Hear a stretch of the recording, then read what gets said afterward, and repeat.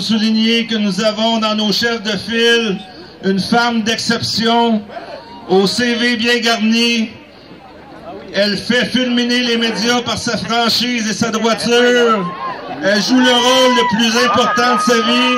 Elle le fait parce qu'elle est fidèle à ses convictions. Elle fait des sacrifices comme personne ici n'en a fait.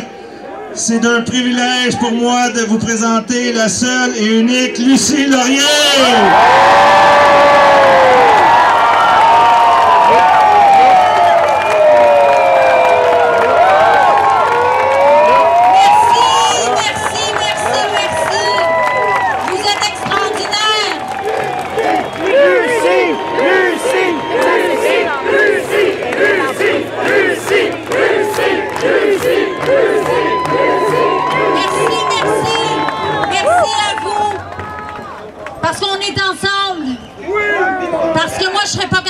continuer sans vous. Et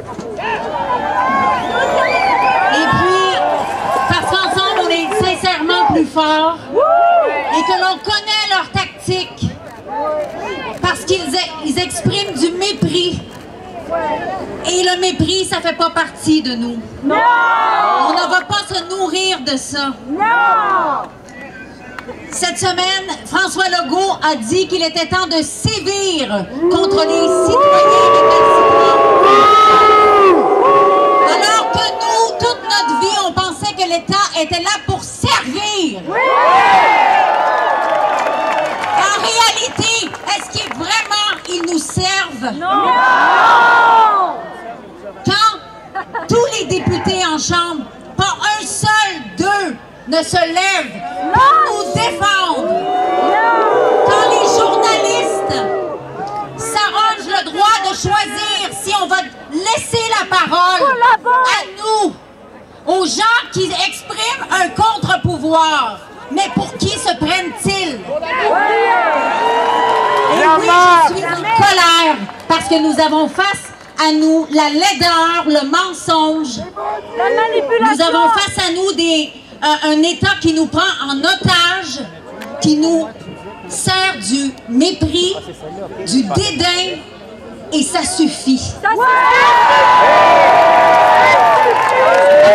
vie, c'est un parcours d'intégrité. Ce n'est pas un parcours de popularité. Donc oui, il y en a qui vont pas nous aimer. Et notre parole va déranger. Et ça suffit le confort. Nous dérangeons parce que nous disons la vérité.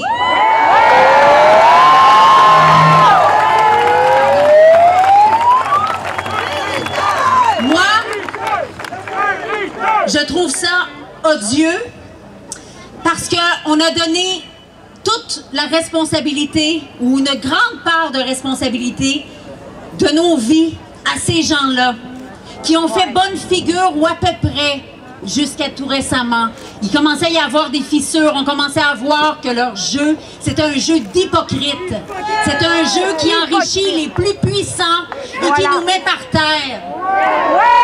Et ça, c'est aussi parce que on a mis comme valeur primordiale, entre autres, sous prétexte d'émancipation, on a mis sous en avant que le travail.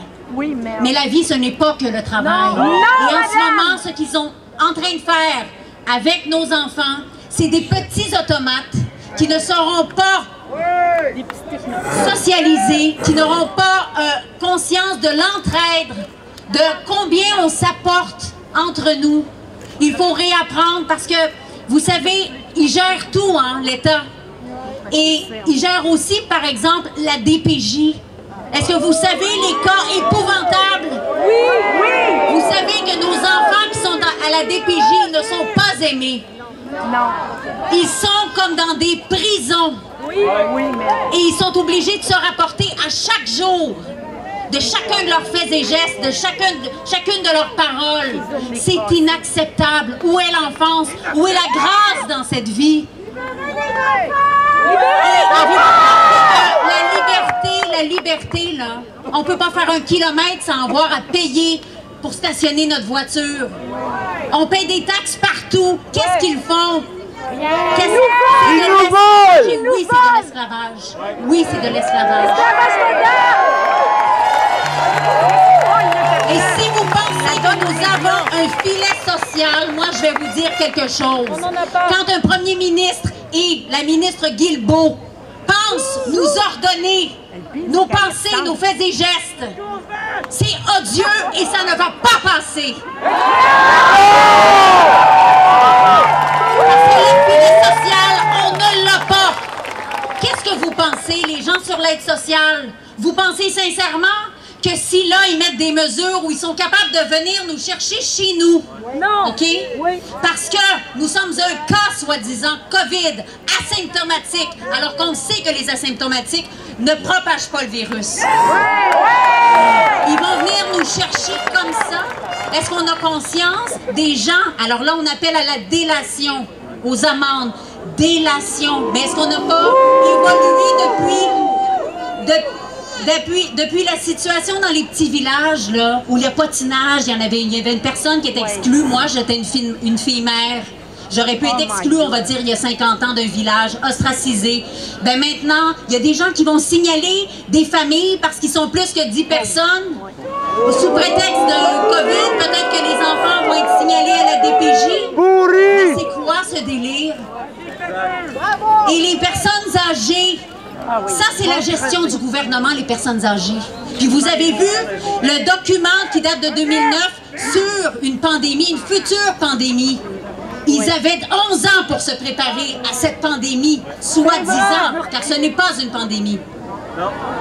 Est-ce qu'ils ont bien géré les choses? Nos grands-parents, nos parents sont morts dans leurs excréments?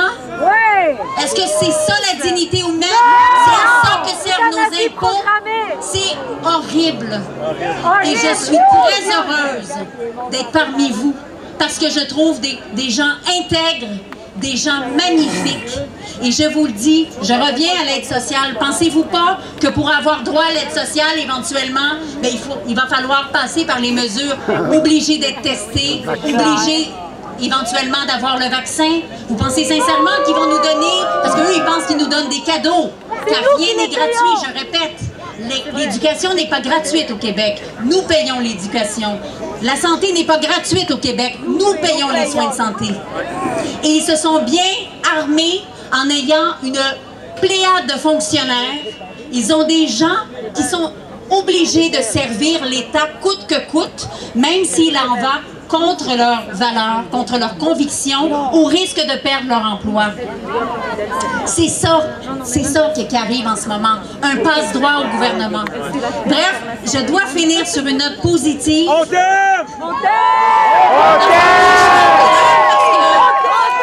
Mais, mais vraiment, en réalité, moi je dis, oui, nous sommes des, des citoyens responsables. Nous sommes des citoyens responsables. Le- L'irresponsabilité, elle n'est pas de notre côté. Nous prenons soin de notre santé, nous prenons soin des nôtres, nous avons envie de les accompagner s'il y a lieu vers euh, leur dernier jour ou, tu sais, on, on veut masquer les bébés. En Non. tout cas, moi, je trouve ça épouvantable. Mais je vous embrasse très fort et puis je serai là avec vous tout à l'heure pour euh, vous rencontrer.